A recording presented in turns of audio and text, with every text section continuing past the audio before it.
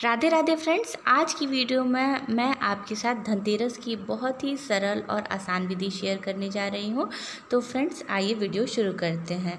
तो इस बार वर्ष 2024 में जो धनतेरस का पर्व है फ्रेंड्स, ये 29 29 अक्टूबर को है। दिन मंगलवार है।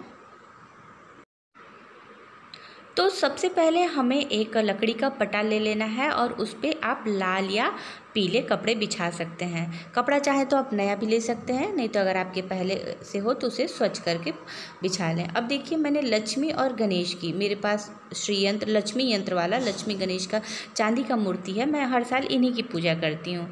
ये फ़ोटो रख लेंगे और साथ ही साथ आप रख लेंगे कुबेर जी का फ़ोटो, तस्वीर आप रख सकते हैं। और कुबेर यंत्र आपके पास हो तो कुबेर यंत्र रख लें और साथ ही साथ श्रीहरि को हम रख लेंगे। अब सभी जो हमारी मूर्तियाँ हैं, उन्हें हम वस्त्र अर्पण करेंगे। वस्त्र आप कुबेर जी को खासकर पीले वस्त्र ही पहनाएँ, उन्हें बहुत अच्छा लगता है। और ये देखिए फ्रेंड्स, जो हम बर्तन खरीद के लाए हैं धनतेरस के दिन, उसे भी हम पूजा में ज़रूर शामिल करेंगे। तो एक मैंने फूल का कटोरा और गिलास लाया है और साथ ही साथ कुछ चांदी या सोने भी आप अगर ख़रीदते हैं तो उसका भी पूजन आप अवश्य रूप से करें। और धनतेरस की जो पूजा है फ्रेंड्स, मुख्य रूप से शाम को ही की जाती है। तो इस बार वर्ष दो हज़ार चौबीस में जो धनतेरस का पूजा का शुभ मुहूर्त है, वो सुबह दस बजे से ही लग जा रहा है। तो आप दस बजे के बाद से कोई भी ख़रीदारी कर सकते हैं और अपनी पूजा का सामान ले सकते हैं।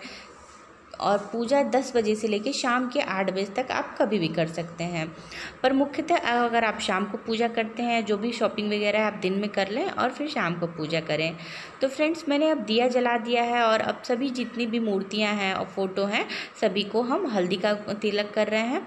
तो गणेश जी को, लक्ष्मी यंत्र को और लक्ष्मी माता को, श्री कुबेर जी को और प्रभु श्री हरि को हम पूजन करेंगे, हल्दी लगाएँगे, फिर मैंने सबको कुमकुम लगाया है। और जो मैंने ये बर्तन ख़रीद के लाए हैं, उसे भी, और ये देखिए मैंने चांदी का पायल लिया है। चांदी ज़रूर से ख़रीदें, अगर आप सामर्थ्य है तो ख़रीद सकते हैं, नहीं सामर्थ्य है तो आप सिर्फ़ एक चम्मच भी खरीद सकते हैं। और ये देखिए, अब हम फूल अर्पण कर देंगे।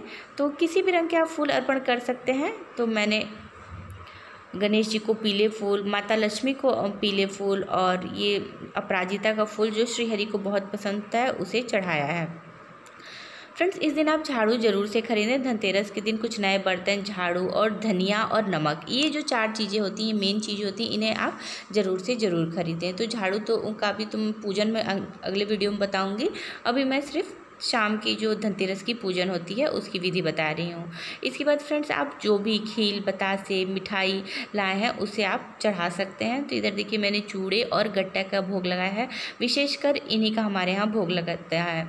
और देखिए, अब प्रेम पूर्वक सबसे पहले श्री गणेश जी की आरती करेंगे, लक्ष्मी यंत्र की आरती करेंगे, माता लक्ष्मी की करेंगे, श्री कुबेर जी की करेंगे और श्री हरि की करेंगे। और सभी को हाथ जोड़ के प्रेम पूर्वक अपने पूजा में आने का आमंत्रण देंगे और कहेंगे, हे प्रभु, आप मेरी पूजा स्वीकार करिए और मेरे घर को धन संपदा से हमेशा भरे रखिए।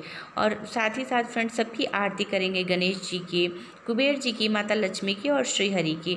और आखिरी में फ्रेंड्स, अगर आप अपनी पूजा को और सफल बनाना चाहते हैं तो ये कनक धारा स्रोत की जो किताब आती है, लक्ष्मी माता, ये ज़रूर से खरीदें और इस दिन से आप इसका पाठ करें।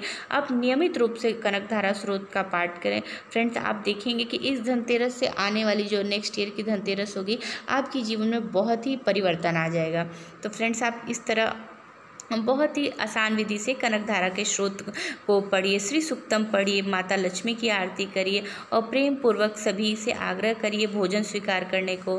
फ्रेंड्स अगर आपके पास कुछ ऋतुफल हो तो ऋतुफल भी स्वीकार आप भगवान को भेंट कर सकते हैं। और मैंने देखिए चूड़े कट्टे और साथ ही साथ मैंने ड्राई फ्रूट्स खजूर का भोग लगाया है। तो फ्रेंड्स, ये बहुत ही सरल और आसान विधि से मैंने आपकी धनतेरस की पूजन विधि आपको करके दिखाई है। अब इस पूजा में फ्रेंड्स, जो झाड़ू ले आए रहेंगे नहीं उस झाड़ू को शामिल करें और साथ ही साथ जो धनिया है, उसे भी शामिल करें। फ्रेंड्स, वीडियो पसंद आए तो लाइक, शेयर, सब्सक्राइब करें।